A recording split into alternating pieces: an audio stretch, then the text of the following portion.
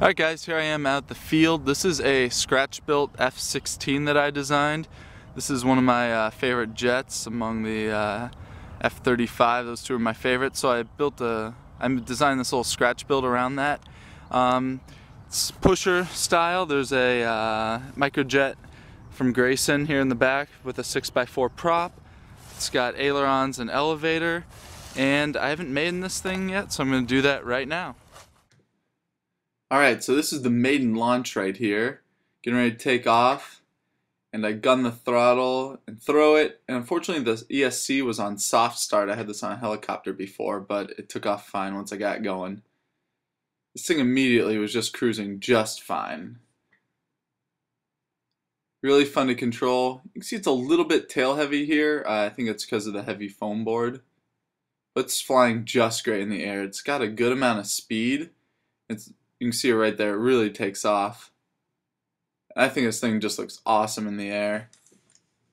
And it's really great to control with the elevator and ailerons. It handles really nicely. It'd be really easy to add a rudder onto this design also.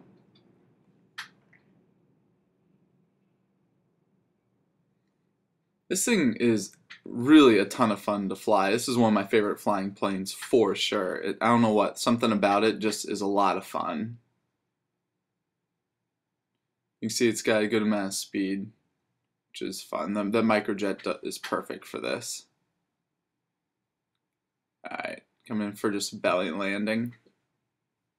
Flight with this thing, and as you can see, it flew great. I was really, really surprised. This is just my own design for a Scratch F-16.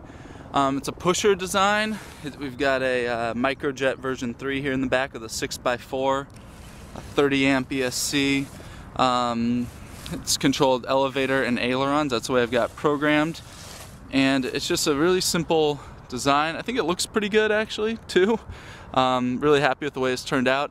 Um, I don't know the dimensions on this. I'll put them in the info section below.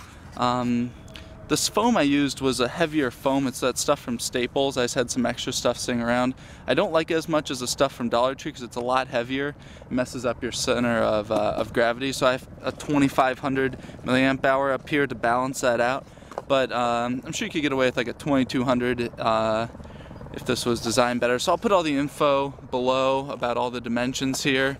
Um, flies really great and I've got a KFM2 here on the wing.